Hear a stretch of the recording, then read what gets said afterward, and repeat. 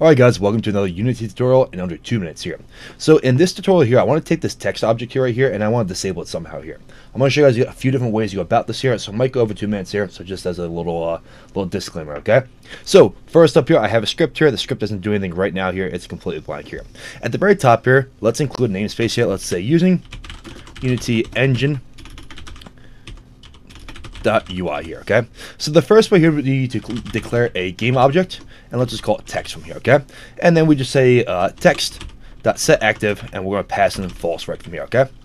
Now the issue with this here, and this isn't really an issue here, but depending on how you want this behavior to run here, you may or may not want it to be like this here. But basically what's going to happen if we go back to Unity here, it's going to disable this entire game object from here. So if I had other things living on this object here, if I had some way to store information or maybe something counting in the background here, it's also going to disable that too. Check it out. If I hit play, and it's going to think about it here, and I'm sorry, I actually didn't, I need to attach the script to something in scene here, and then on this text right here, I'm going to drag in this game object, okay?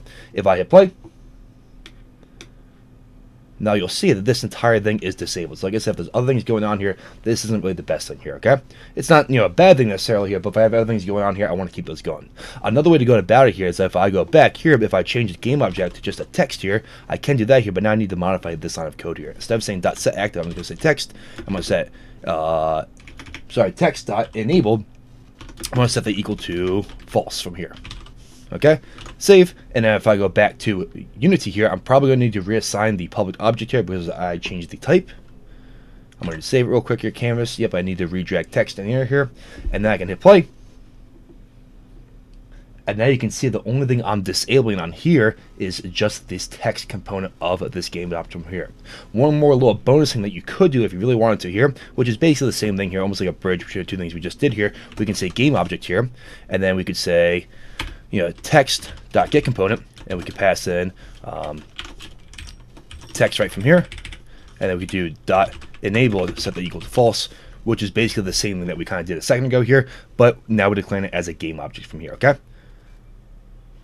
And like I said, this is going to go over two minutes here, but that's okay.